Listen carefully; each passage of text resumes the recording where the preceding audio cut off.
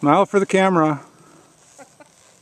You're riding your horse, Sharon. I take bad pictures. How long's it been? A year plus? Yeah? Good job. Nice little kiss. Keep it easy. This saddle's really comfortable. 150 bucks and it's yours. Good boy. And I'm not making anything on it. That's a roping saddle and it's light too.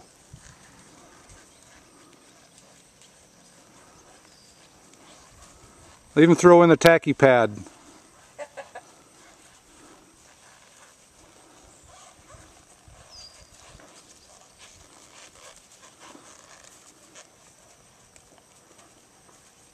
You're neck reining him too, aren't you?